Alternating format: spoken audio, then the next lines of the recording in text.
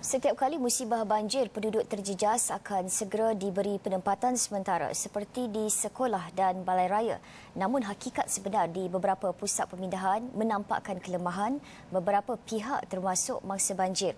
Ia kotor selain jelik di pandang mata. Sepanjang tinjauan Astro Awani di beberapa pusat pemindahan, ada dalam kalangan mangsa banjir yang terpaksa berdepan suasana kurang menyenangkan. Dalam keadaan bencana, situasi berhimpit-himpit itu lumrah. Namun apabila menyentuh mengenai kebersihan, ia menjurus kepada persoalan lain. Di mana mentaliti dan sikap. Paling ketara tandas yang dikongsi ratusan orang berada dalam keadaan begini.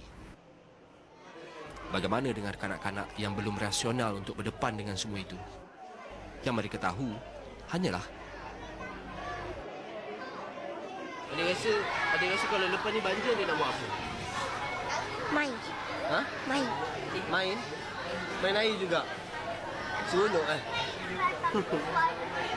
Tahun lepas banjir tak? Banjir.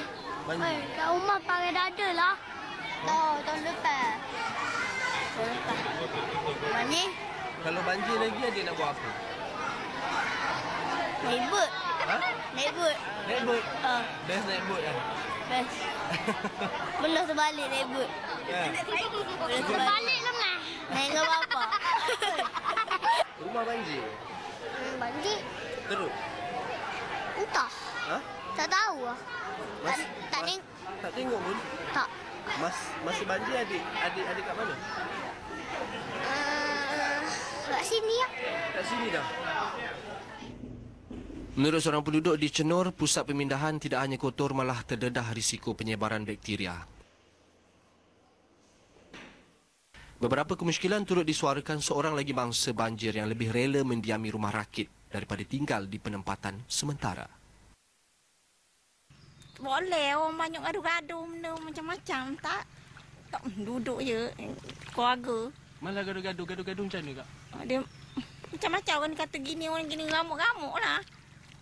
Sebab ada tak suka duduk situ sebab gaduh-gaduh. Ha. Gaduh apa? Gaduh makanan ke? Ha, gaduh... makanan lah, berebut-rebut eh, benda. Kalau tak dapat nak makan nasi nak benda. Lepas tu akak tak nak pindah ha? Ha, tak nak benda. Duduk gini ya. Ha, duduk macam ni. Biarpun perkara ini terpencil, penelitian perlu dibuat sebelum ia menjadi kebiasaan yang memudaratkan. Semua bergantung kepada setiap individu yang terlibat sama ada sukarelawan mahupun mangsa itu sendiri untuk diambil peduli demi manfaat bersama. Syahir Rizal, Astro Awani.